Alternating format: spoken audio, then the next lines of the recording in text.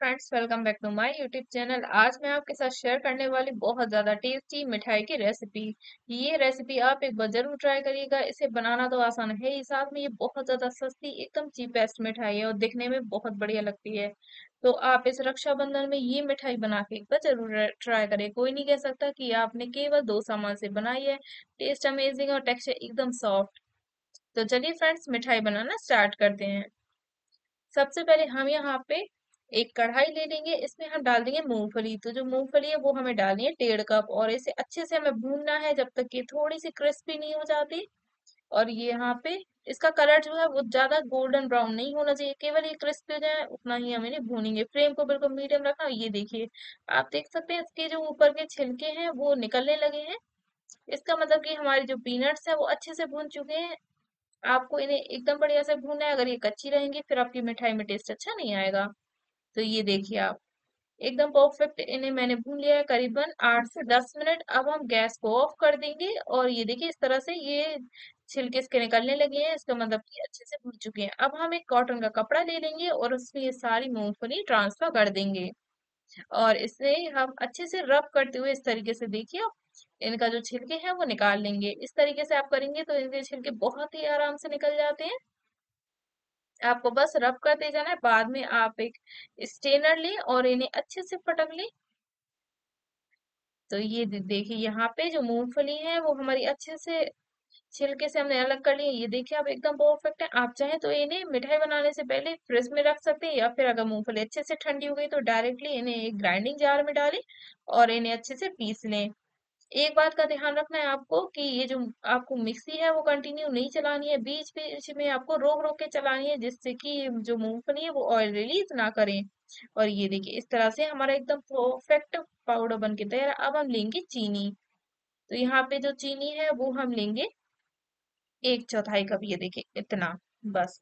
आपको अगर ज़्यादा मीठा पसंद है तो आप यहाँ पे थोड़ी सी चीनी की क्वांटिटी बढ़ा दें।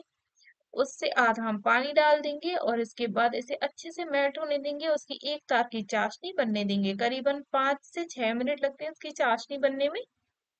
और ये देखिए, एकदम परफेक्ट चाशनी बन गई, देख सकते हैं मैं आपको चेक करके भी दिखाते ये देखिए, एक तार बनने लगा है, इसका मतलब कि हमारी जो चाशनी है वो एकदम परफेक्ट रेडी है। अब जो हमारा मूंगफली का पाउडर है, हम वो इसमें ऐड कर देंगे। मूंगफली का पाउडर ऐड करने से पहले हम यहाँ पे एक ले लेंगे। पॉलीथीन इसे अच्छे से हम घी से ग्रेस कर लेंगे। इससे ये एकदम परफेक्ट बनेगी बर्फ़ी। आप कोई भी एक पॉलीथीन ले ले, उसे अच्छे से साफ़ कर ले। बाद में आप उसमें सेट कर सकते हैं। मूंगफली का पाउडर हम डाल देंगे और अच्छे से मिला लेंगे।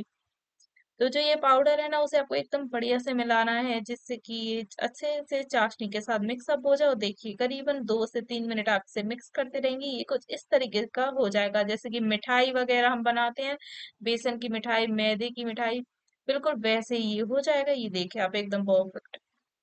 बहुत आसान है, कोई भी बना सकता है और ये देखिए, एकदम परफेक्ट ये पक गई है, अब हम इसे ट्रांसफ़र कर लेंगे।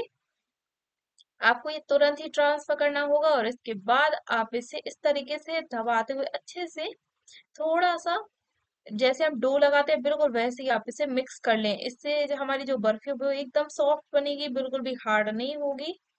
और यहाँ पे बर्फ़ी तैयार है। अब हम चांदी का वर्क ऊपर से लगा देंगे, जिससे दिखने में बिल्कुल मार्केट जैसी लगेगी, जैसे कि हम मार्केट से मिठाई लाते हैं।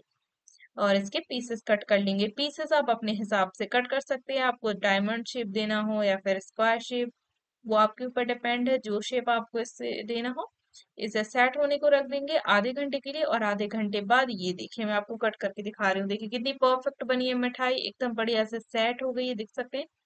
बहुत सॉफ्ट है। जब आप इसे खाकर देखेंगे, ये मुँह में जाते ही घुल जाएगी। तो फ्रेंड्स, इस रक्षाबंधन में आप ये मिठाई बना के ज़रूर ट्राई करिएगा। आपकी फैमिली में सबको बहुत पसंद आएगी। और अगर आज की वीडियो आपको अच्छी लगी तो प्लीज़ आप वीडियो को लाइक कर दें और हमारे यूट्यूब चैनल को सब्सक्राइब कर लें। तो मिलते हैं नेक्स्ट रेसिपी में। तब तक के लिए गुड बाय।